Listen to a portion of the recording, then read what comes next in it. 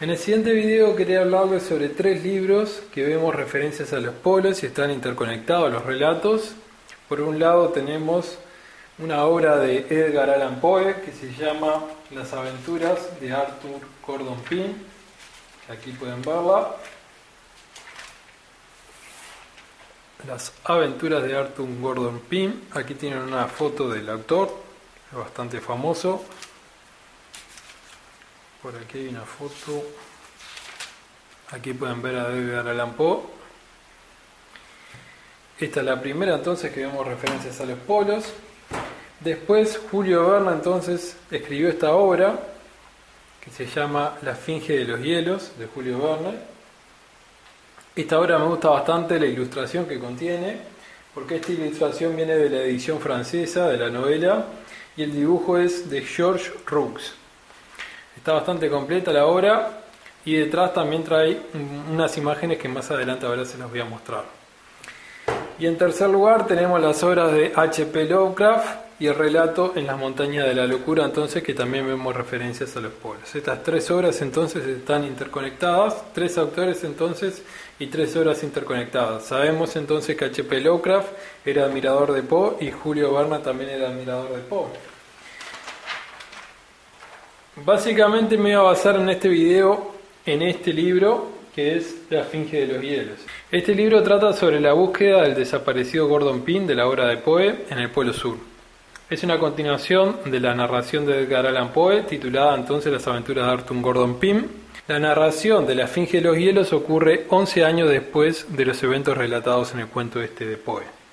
Como dato interesante, en sus breves ensayos de Edgar Allan Poe y sus obras de 1864, Julio Verne comenta su decepción por el final abrupto de la historia y se pregunta lo siguiente, ¿quién la continuará algún día? ¿Alguien más audaz que yo y más resuelto en avanzar en el dominio de las cosas imposibles? El tema es que 33 años después entonces de que Julio Verne se plantea esta cuestión, en 1897 entonces, sería el propio Verne el que hiciera entonces la continuación o la explicación a la obra de Edgar Allan Poe. La línea argumental de esta obra de Verne es doble. Por un lado tenemos la búsqueda de los supervivientes de la galeta Jane y en segundo lugar la búsqueda del desaparecido Arthur Gordon Pym. Esta obra me parece interesante porque nos da a entender que la narración que este cuento de Edgar Allan Poe es en realidad es cierto. Les voy a leer la primera parte que me parece que no tiene desperdicio. Dice, sin duda nadie dará crédito a este relato titulado La finge de los hielos. No importa. Creo que es bueno que vea la luz. Cada cual le dará el crédito que le merezca. Esta obra está sumamente completa y lo que me gusta es que al final trae un glosario porque Julio Verne utiliza muchos términos marinos y entonces tenemos aquí un diccionario de términos marítimos que está sumamente completo. Tiene definiciones de lo que quiera, por ejemplo, este, vamos a poner una de ellas, este, relinga, cuerda con la que se refuerzan las orillas de las velas, por citar algunos ejemplos. Tiene un montón entonces de definiciones. Y esta obra también trae una ilustración que nos muestra en dónde estaría esa finge de los hielos ubicada. Aquí pueden ver la Antártida, aquí estaría América del Sur, aquí arriba. Y bueno, aquí entonces se ve, dice Mar Jorge IV, aquí está la Antártida. Y entonces aquí nos dice Tierra de la Finge, estaría por aquí abajo. Aquí pueden ver, aquí debajo es la tierra entonces donde estaría ubicada la Finge de los hielos. Este es un mapita entonces que trae que me parece sumamente interesante.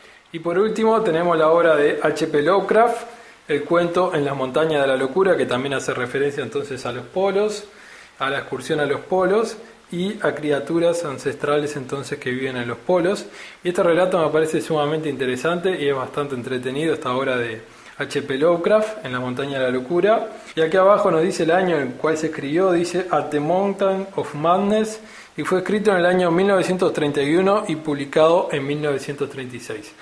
Este compilado de las obras de Lovecraft de Ediciones Plutón me parece muy bueno porque tiene los cuentos ordenados por año y aquí abajo entonces tenemos la referencia al título original y el año en que se publicó. Y bueno, me parece mucho mejor la obra de Lovecraft que la de Julio Verne, me parece mucho más entretenida, ¿no?